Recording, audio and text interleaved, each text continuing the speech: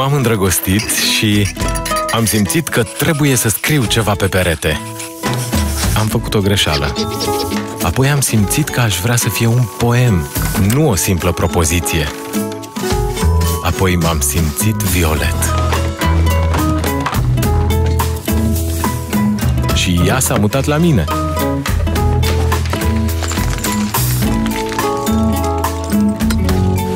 Mai târziu ne-am despărțit.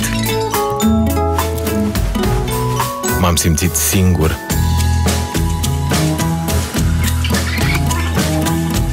Dar după am simțit că nu-mi place singurătatea și m-am îndrăgostit.